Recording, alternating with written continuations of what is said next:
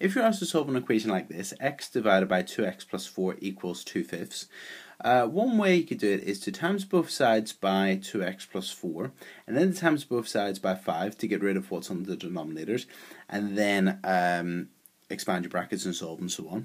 Another technique is what they call uh, cross multiplying.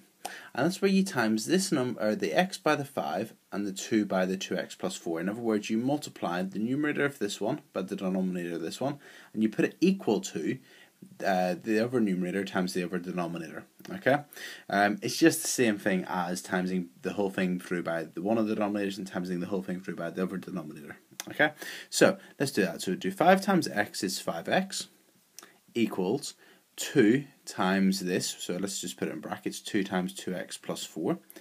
Expand your brackets to give you 5x equals 4x plus 8.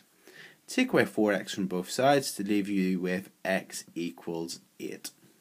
Okay, uh, so rather than timesing both uh, sides by one denominator and both sides by the other denominator, you can use this thing called cross multiplying. So for instance, if you had a over b equals c over d, you would get A D equals BC.